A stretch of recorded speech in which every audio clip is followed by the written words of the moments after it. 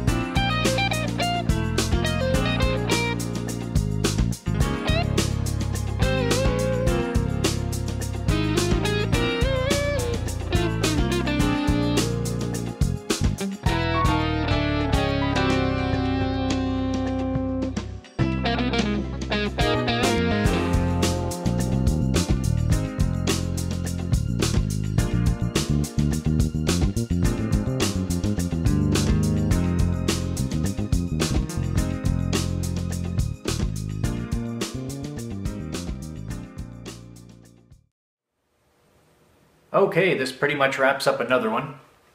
Uh, I think it turned out pretty well for making my very first mallet. I don't know why I never had a chance to make one before, but uh, I think I kind of got myself hooked now. So uh, um, I'll definitely be trying another one.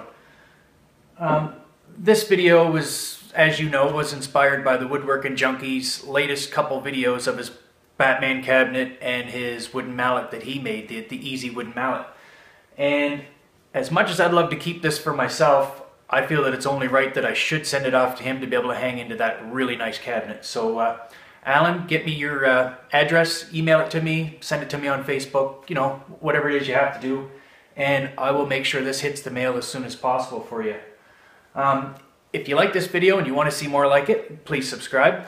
And don't forget to leave me a comment. I love reading the comments and uh, replying back to everybody. They're always, they're always awesome to read. So, Till the next time, thanks and see you later.